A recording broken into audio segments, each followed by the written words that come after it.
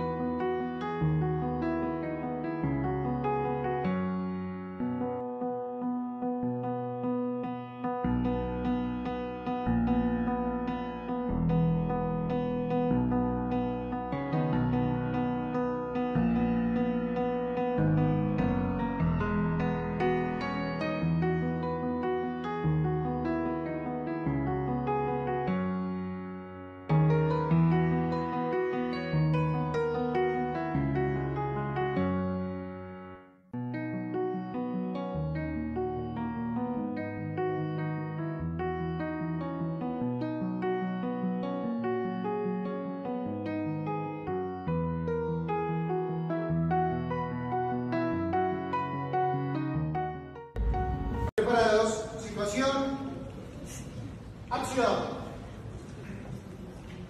Sí, es con usted, no me toque, ¿ok? Ya me entiendo.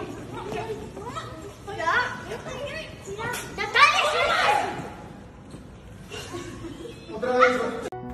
hablo por todas y sé que no hubiéramos podido pedir un mejor equipo para este nuevo sueño. Creo que ha sido como el proyecto más grande que hemos hecho en casi que ocho años estando juntas como Ventino y Chicas hicieron un trabajo maravilloso, inolvidable, maravilloso, inolvidable. Son demasiado. Última claqueta, señores. este hermoso viaje llamado Ventino. Qué fácil fue para ti ilusionarme y luego olvidarme. Tú tan seguro que me iba a querer.